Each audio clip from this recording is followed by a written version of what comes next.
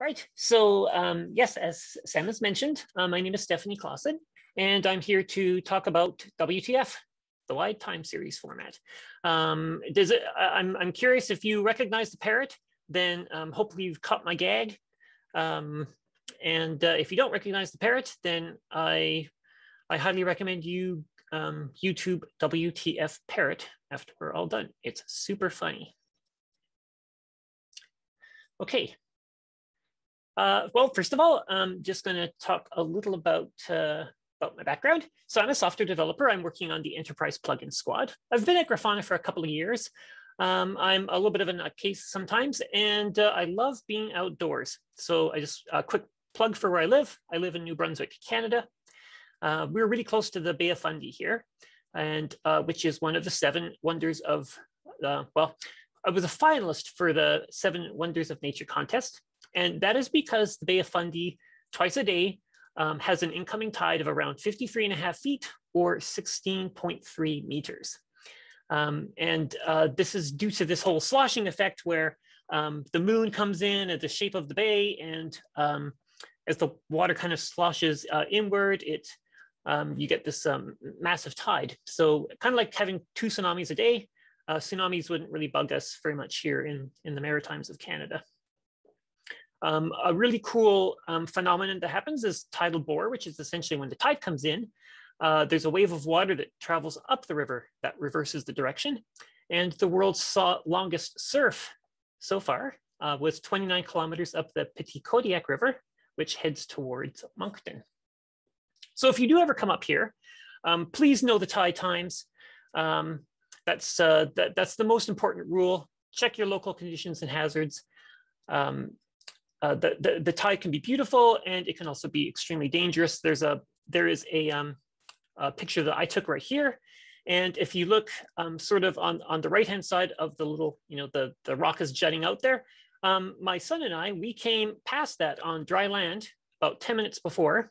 We took a picture and uh, within 10 minutes, the tide came in and we couldn't get out anymore and had to call search and rescue because uh, we were surrounded by cliffs. So it's uh, really important to understand the risks um, before venturing into the bay.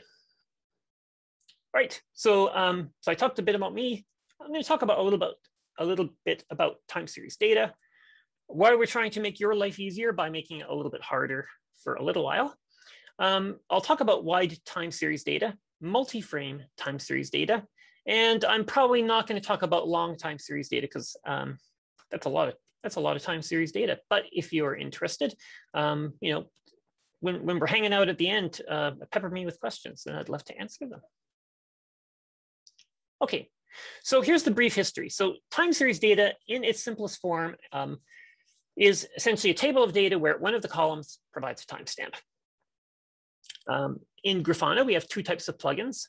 Panel plugins visualize the data, data source plugins retrieve the data. So uh, essentially, um, why um, we need this sort of a contract so that data sources can send data and they abide by the contract and panels receive the data, expecting the contract has been honored. There's, um, there has been in the past two formats, time series data and table data. And, and that's been a bit cumbersome because each data source has to implement both of those contracts. Um, so enter, uh, enter Apache Arrow which already has a um, has a format, and that's called the data frame. And that's how we're sending back data now. So essentially, we're trying to make your life easier, but we're making it harder. Um, if anybody's watched Mystery Men, um, uh, the, this is the Sphinx, and he is uh, uh, his superpower is is cliches. And so as soon as I wrote making life easier by making it harder, I thought of the cliche I was making, and so uh, put the picture of the Sphinx up. So um, essentially a data frame contains fields. Fields contain, contain labels, which is metadata, and the values, which is the data. So uh, I'm going to be using a lot of these. So you can see a data frame over here. Inside we have months. Um, under um, that's a, that's your field, and then underneath you have your time and your value. And this is relevant. I'm going to do a demo a little bit later on to, to show you exactly how you can sort of diagnose when you're having a time series problem and how you can fix it. So this is what multi-frame time series data is. Essentially, you've got a data frame and you have one series. you send back another frame with one series, then you have a third. So instead of having one data frame with three series in it, you have three data frames with one series. So that's what multi-frame time series data is.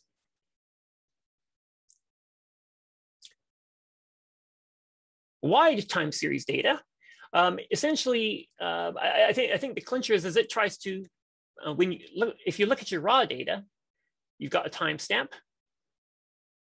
and this one here is one second behind the other two.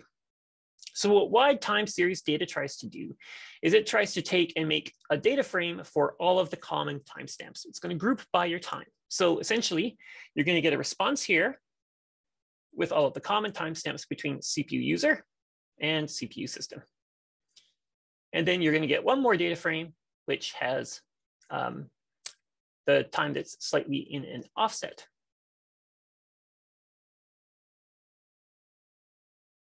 So just going to let everybody kind of look at that, make sure um, that makes sense. So just once again, um, disk used, the percentage of disk used is uh, one second after the other two, therefore it's going to get its own data frame. Long time series data. If you really must read about it, it's right here. I'm just going to give you the URL. I'm not going to dive too much into it. It is really only used in the back end of Grafana. We don't expose it to the front end. So um, I, I, don't see um, a, a, reason to talk about it in, in too much detail or any detail really. But if uh, we've documented it, and so if you're interested, um, that's the link. Okay, so let's dive in because I think this is where the, the, the, real meat is. So I'm gonna just stop uh, my share and um, Okay, so um, I'm using an old panel here. It's called the status, status dot panel. Um, it was written in Angular. It's not being maintained anymore. Um, and, and this is to show common problems that you're going to see. So I'm going to start with this one right here. Um, all series have the same timestamp. So, um, and it's really important to use this table view. This is a really great feature that we've added in um, Grafana 8, I believe. So uh, this is what I've got two series right here and then uh, five columns. This, um, this is not compatible with older panels. If you're using an older panel and you're not seeing your data on it, uh, that's because um, this format just simply is, isn't going to work with it anymore. So th those are kind of the telltale signs is when you sort of have, you know, you've taken uh, an aggregation, like an average or something, and you just have these values sort of lined up in separate series. Um, I'm going to show you how uh, we have a transformation here. So prepare time series. And there's two options here, wide time series and multi-frame time series. Notice the long time series is not there. That's why I haven't talked about it too much. If I'm using a wide time series, hasn't really changed anything a lot because the timestamps uh, were all common amongst all of the data points. So looks the same and it looks like nothing. So uh, using this particular transformation is not going to help you. This is where multi-frame time series comes in. So if we just take a look at the table view, notice that now we have five. So this is actually five different data frames. Remember when uh, we were talking about uh, multi-frame time series that each data frame had one series in it. So these are the five series that are coming back. One's uh, got the column series A, Next one has a series B. Next one is series C. This is the format you're going to want to have. It's going to, it's what you're, what you, you need to look for. Um, and uh, this is because I went to my transformation and used multi-frame time series. And when I do that, I get my nice status dots. So my visualization starts to work again. Um, this is going to work for any old panel that you have. You just have to know how to sort of look at your, your data, make sure uh, data sources like Splunk, for example, uh, they give you a lot of, in, SQL data sources where you have a lot of flexibility as how to query your data, the, the, you're, you might be running into these problems a little bit more often. Um, series with different timestamps are no different. I'm just going to show you the default real quick. Uh, so in this case, I've got one, two, three, four, five with on different timestamps. This is just fine so long as you use the multi-frame time series. It's going to put everything together into different series. Just notice that we have some, some different nulls. And, um, and at the end of the day, though, uh, your panel is working again.